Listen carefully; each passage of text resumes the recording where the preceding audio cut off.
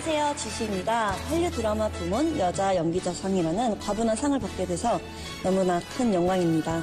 네, 일정 때문에 참석하지 못해 이렇게 영상으로 인사를 드리게 되어서 아쉽고 드라마와 영로를 사랑해주신 모든 분들 덕분에 이렇게 좋은 상을 받은 것 같아서 기쁘고 행복합니다.